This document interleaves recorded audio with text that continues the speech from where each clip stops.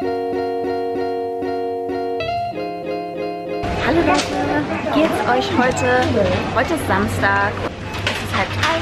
Steph und ich sind jetzt zum ersten Mal draußen und wir gehen jetzt einkaufen, weil wir nämlich etwas zu essen brauchen, zum Beispiel Reisbällchen.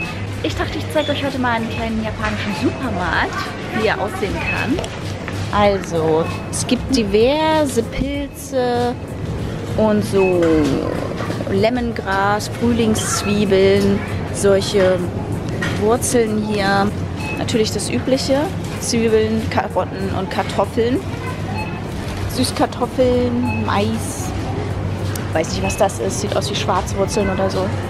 Und hier das Gemüse. Paprika, Aubergine, äh, Kürbis und so weiter. Mehr Pilze und ähm, Chinakohl. Ganz viele Tomaten. Also wie bei uns eigentlich.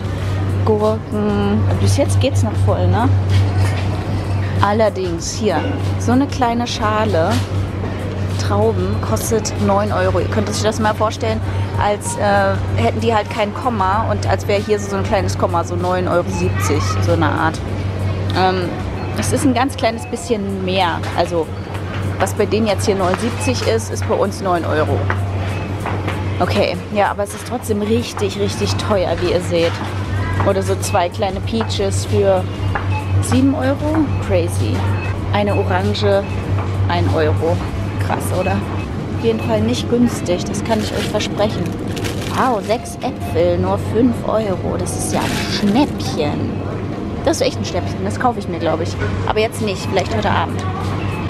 Hier, das Fleisch ist total fettig, weil die das so lieben. Die lieben einfach das Fleisch, das so aussieht, das so richtig gemasert ist. Es gibt noch viel, viel, viel gemaserteres Fleisch als das, was ihr hier seht. Hier mehr so. So, und dann so in ganz dünnen Scheiben. Und dann finden die das lecker. Finden die das so lecker. So viel Fleisch und alles ganz dünn geschnitten. Hier auch dünne Fleischscheiben. Es gibt natürlich auch massiv viel Tofu. Dafür gibt es so gut wie kaum ähm, Milchprodukte. Hier Reis in Packungen zum Aufkochen aus, für die Mikrowelle. Ah ja, und hier so Müsli-Kram, so Cornflakes, kosten dann auch 4 Euro. Krass, oder? Es ist hier halt keiner. Außerdem, naja, vielleicht essen das die Leute doch, aber einführen müssen das wahrscheinlich alles. Deshalb ist das so teuer, wisst ihr?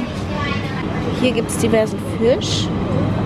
Auch so ganz viele kleine Fischis, die man halt so in Suppen und sowas machen kann für mehr Geschmack. So, davon gibt es Milch. Und hier, ja, gibt es noch mehr Fertiggerichte. So kleine Salate mit Fisch. Ja, noch mehr Fischsalate. Sieht aus wie Muscheln, Tintenfisch. Ja, ganz, ganz viele Meeresfrüchte oder halt auch so ähm, Grünzeug aus dem Meer. Wie heißt das? Algen und Kram. Und natürlich auch Sushi. So für 4 Euro, warum nicht? So eine ganze Box. Nicht schlecht, ha? Ja. Und so viel davon. Es gibt auch immer so frittierte Sachen, beziehungsweise so gebackene Sachen, eben Teig. Das hier sind jetzt Fische. Das sind so kleine Spieße. Das sieht aus wie Fleisch. Ähm, wow, so eine ganzen Krebs. Krebstiere mit irgendwas, so, so Bällchen geformt. Krass. Das hier sieht aus wie ähm, Kürbis. Das da oben sieht auch aus wie Shrimp oder sowas. Corn Dog oder was auch immer das hier oben ist. Das habe ich noch nie probiert. Das fand ich schon, als ich das erste Mal hier war, total komisch. Ich war vor fünf Jahren nämlich schon mal hier. So, hier gibt es auch solche fertigen Reisgerichte. Eigentlich gar nicht so unappetitlich, ne? Geht eigentlich. Wenn man so auf Asiatisches steht. Und das hier sind so die Weizenprodukte. Brötchen mit Zucker drauf, warum auch nicht. Oh, Toastbrot gibt es ja auch. Ganz normales Toastbrot. Nur 1,20 Euro oder so. Ich glaube, das war es erstmal von meiner kleinen Supermarkttour. Ich hoffe, es hat euch gefallen. Wir sehen uns gleich wieder. So, wir sind wieder draußen. Wir haben ein bisschen mehr eingekauft, als wir eigentlich dachten. Steph hatte nämlich eh sein Handy vergessen, deshalb sind wir dann nochmal hochgegangen und haben unseren ganzen Einkauf hochgebracht. Jetzt sind wir wieder unten und jetzt sind wir in ähm, Nakamise, heißt das, glaube ich, diese Straße. Ähm, und zwar in der neuen Nakamise Straße. Sollte euch unbedingt äh, hier hinschreiben, wie die Straße wirklich heißt, wenn die nicht Nakamize heißt. Äh, ist auf jeden Fall eine berühmte Einkaufsstraße hier in Asaka sorry, ich musste gerade kurz überlegen, wo wir hier gerade sind.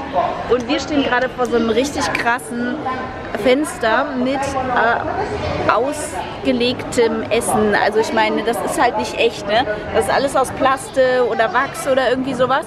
Und es gibt dazu eine ganze Industrie, die nur diesen Kram herstellt. Und das ist echt so krass und so lebensecht. Guckt mal. Hier, so sieht es hier aus. Das ist so ein richtiges Gewölbe so ein überdachtes.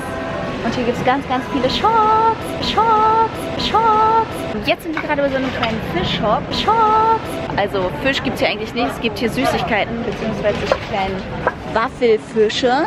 Und die sind gefüllt mit so einer Anko-Paste, also mit einer roten Bohnenpaste. Sieht erst, also klingt erstmal richtig komisch, schmeckt auch erstmal richtig komisch, aber man gewöhnt sich dran. Und ja, es ist halt dann so eine süße Waffel. Und scheinbar sehr beliebt. Die Schlange ist lang. Also die war gerade noch ein bisschen länger. Aber guckt mal, hier sitzen die Leute und essen ihre kleinen Anko-Waffeln. Ich habe das noch nie gegessen, aber ich stehe auch nicht so auf Süßkram, ehrlich gesagt. Und diese Paste ist auch richtig süß. Also wenn Sie was süß wollen, dann machen Sie es auch richtig süß, die Japaner. Leute, wir haben gerade einen Eulencafé gefunden. What the fuck? Und ja, die Eule da oben auf dem Laptop, äh, auf dem Desktop ist real.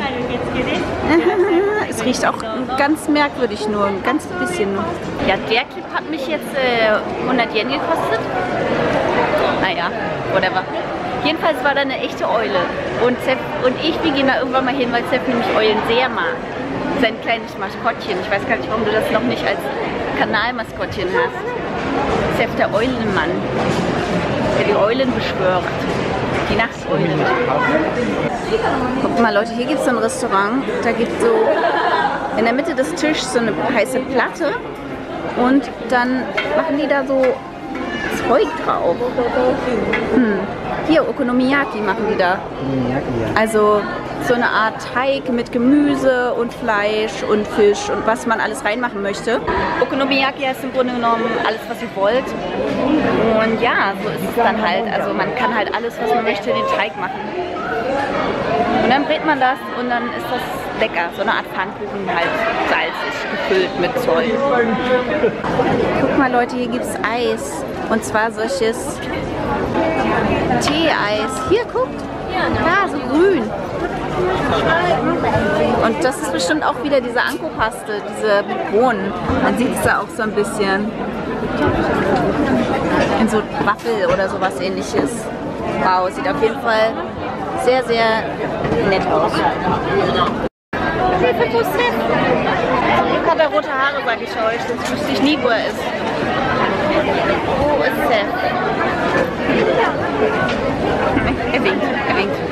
Oh, wir müssen unbedingt zu diesem Tor da drüben. Wollen wir hier mal durchgehen, dann kommen wir wieder her, gehen wir da hin und dann gehen wir durch. Alles klar. Oder wir gehen hier so rum, damit wir zu diesem Tor da vorne kommen. Das ist nämlich so das Haupteingangstor. Okay. Das ist ultra alt und so. Ganz traditionell. Junge? Sind einfach nur viele Leute. Okay, alles klar. Ja, es gibt nämlich so eine Haupt also die traditionelle Einkaufsstraße mit so kleinen Snacks und sowas Richtung Tempel. Ah, hier gibt es wieder solche kleinen Fischis. Gefüllt auch mit anderen Sachen.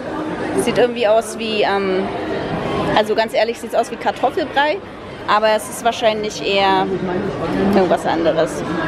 Das sieht aus wie Apfel und Eis. Oh Gott, und mit Kürbis. Mhm. Aber was ist das dann? Mit Süßkartoffel gibt es das auch? Oh, mit Maronen? Aber was ist das? Weizen. Hm, keine Ahnung. So, wir sind jetzt da bei dem großen Tor, bei dem Kaminarimon, wie es so schön heißt. Und ja, das ist, glaube ich, eines der ältesten Gebäude oder, naja, doch, irgendwie ist es schon ein Gebäude von Tokio, wahrscheinlich auch von Japan. Immerhin ist hier irgendwie alles immer tausendmal abgebrannt, wegen der Erdbeben und so weiter. Ähm, ja, diese riesen Laterne, da steht, glaube ich, Donner drauf. Und ähm, links und rechts sind solche kleinen Statuen, beziehungsweise große Statuen.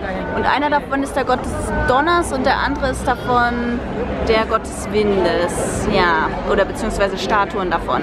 Und ja, wenn man da durchgeht, kommt man halt in so diese Einkaufsstraße, die so mit ganz vielen Snacks voll ist. Aber ich meine, hier vorne hat man schon lauter Snacks, Snackläden. So ein bisschen wie auf dem Rummel hier. Oh Mann, es gibt auch ganz viele Leute, die so traditionell verkleidet sind und halt Fotos dann machen in dieser, dieser Form, in dieser äh, ihrer japanisch angehauchten Form. Ich habe mich auch extra hübsch gemacht. Guckt, ich habe sogar ein Kleid an heute. Es war ein bisschen ungebügelt. Ich habe vergessen, es in die Dusche zu hängen, aber hey, ich, äh, ich, ich habe es wenigstens versucht. Hallo, ich bin jetzt zu Hause und schneide dieses Video und ich wollte eigentlich nur etwas aufklären. Im nächsten Clip werdet ihr ein Hakenkreuz an diesem Tempel sehen und es hat nichts mit dem Nationalsozialismus zu tun. Dieser Tempel ist 1000 Jahre alt oder so und Shinto ist eine sehr, sehr alte Religion aus Japan, deren Urreligion sozusagen. Ähm, das existiert bestimmt schon über 2000 Jahre und Buddhismus kam dann so im 5., 6. Jahrhundert dazu, Seitdem haben die diese zwei Religionen nebeneinander laufen. Einige ähm, Feste werden halt mit dem Shinto gefeiert und einige ähm, mit dem Buddhismus. Kleiner Exkurs. Es gibt auch ein paar Christen in Japan, aber die sind eine sehr kleine Minderheit. Gut, äh, so viel dazu, nur dass ihr halt nicht geschockt seid. Das hat nichts mit äh, dem Zweiten Weltkrieg zu tun, dieser Schrein. Ähm, das ist einfach ein traditionelles Symbol. Wow, guckt mal wie groß, ey. Guckt mal wie groß. Man kommt gar nicht an. So groß ist das. Wow, da unten ist was dran. Gut. Oh. Und hier voll die krasse Einkaufsstraße. Es wird hier so viel fotografiert. Aber ich meine, ich bin auch nicht besser. Ich wie immer. Hier ist noch ein Tor mit so Gebäuden. Und das ist eine fette Pagode. Ist auch so groß, ihr könnt euch das nicht vorstellen. Da vorne räuchert es kräftig raus. So, wir sind jetzt im Inneren des Tempels, also durch diese ganzen Tore durchgekommen. Und wir stehen hier gerade an der Fortune Wall, sage ich mal, also wo man sich sein Schicksal äh, lesen lassen kann. Und zwar geht, geht man dazu einfach hier 100 Yen, also ungefähr einen Euro in diesen Schlitz und dann kann man sich hier das rausholen äh, beziehungsweise rattelt man dann hier an diesem Teil und dann zieht man da so ein Fortune raus, ein bisschen wie so ein Glückskeks, sag ich mal. Und wenn die gut sind, dann kann man die aufheben oder man bindet die halt an so ein, ähm, an so ein Gerüst hier und wenn die schlecht sind, kann man die auch ans Gerüst machen, dann werden die nicht wahr. Aber im Grunde genommen möchte man ja nur, dass die guten wahr werden. Und hier steht auch, wenn man ein schlechtes ähm, Fortune hat, dann soll man das nicht einfach so abtun und nicht arrogant sein, sondern man soll das alles ernst nehmen und so weiter. Ja Leute, es ist auf jeden Fall, es gibt noch friedliche Ecken auf diesem ähm, Planeten, wollte ich gerade sagen. Nein, in diesem Tempel. Guckt mal, hier, dieser, dieser Baum hier, diese Hängeweide. Und darunter die Leute. Ist das nicht schön? Ist das nicht alles herrlich? Und da die Pagode und dieses Abendlicht und da hinten der Weihrauch oder was auch immer für ein Rauch. Die Leute beräuchern sich, um sich zu heilen. Und man möchte dann, dass die Sachen danach riechen, dass man selbst danach riecht.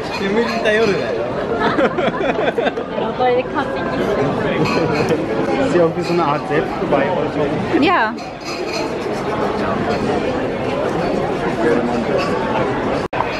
Okay, wir gehen jetzt ins Innere. Oh, das ist ein Polizist. Ich dürfte hier gar nicht filmen. Oh mein Gott, gerade hier reingekommen. Gerade hier die erste Brücke erklommen. Guck mal, wie japanisch es aussieht. Also ich meine, geht es irgendwie japanischer. Und dieses Licht, herrlich. Und dann das hier. Oh mein Gott, sind die riesig. Und zu viele. Und so schön.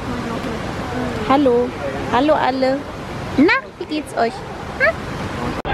Leute, wir sind hier gerade in der Straße abgebogen und ich glaube, wir haben hier die ultimative Fressmeile gefunden. Hier ist ein kleines Restaurant am nächsten, also leicht überdacht oder halt so offen. Wow, ey. Sowas habe ich echt noch nie gesehen. So crazy, die ganze Straße lang. Und alles total voll. Jetzt weiß ich auch, warum es bei uns vom Hotel immer so nach Fisch und nach gebratenem riecht. Back to editing in bed. Ja, wir sind jetzt wieder zu Hause und ich liege im Bett und schneide ein bisschen an meinem äh, nächsten Video. Ja, das haben wir halt heute Morgen schon gemacht. Jo, so sieht's aus. Und dann werden wir wahrscheinlich irgendwann was essen. Es ist jetzt 18 Uhr und die anderen sind raus was essen gegangen, aber es ist uns gerade nichts. Seth geht es immer noch nicht so gut oder wieder nicht so gut. Ja, hoffentlich wird das bald wieder.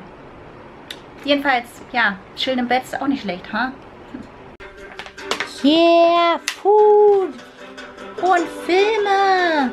Yeah, I'm loving it. Loving it.